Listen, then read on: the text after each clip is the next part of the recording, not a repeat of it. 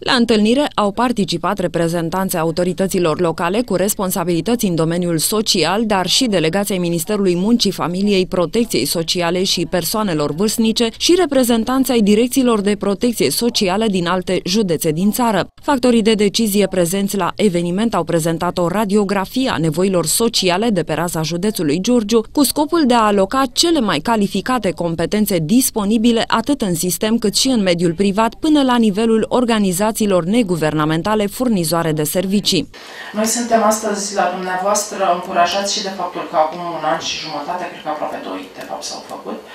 um, Parlamentul României a adoptat uh, o lege a serviciilor sociale care vine cu o nouă paradigmă în relația Consiliu Județean, uh, mă rog, autoritatea locală și organizațiile furnizoare de servicii. Cu alte cuvinte,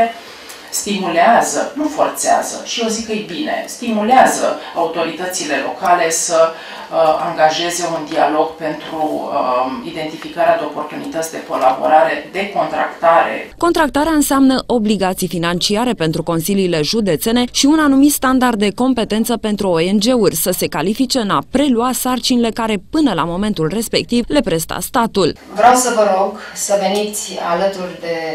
instituția mea cu experiența dumneavoastră, cu expertiza dumneavoastră, astfel încât să identificăm cele mai bune soluții,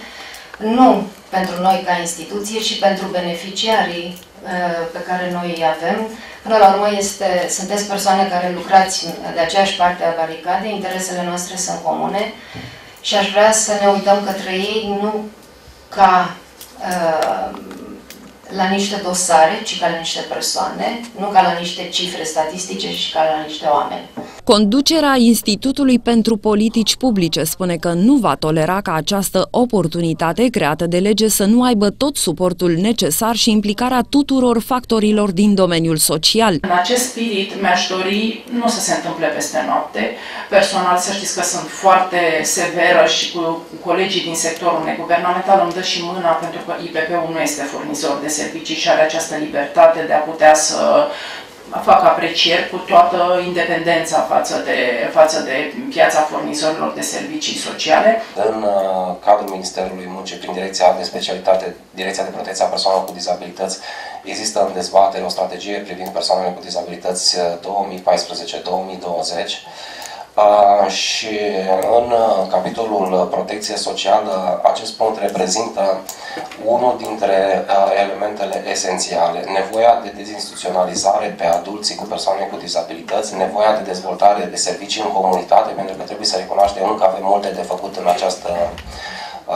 direcție. Strategia de dezvoltare a serviciilor sociale, atât pentru adulți cât și pentru copii aflați în evidențele autorităților, precum și harta furnizorilor și a serviciilor oferite în prezent, oferirea unei calități a vieții mai bune pentru beneficiarii de servicii sociale din așezămintele de pe raza județului Giurgiu, sunt priorități pentru aceste organizații.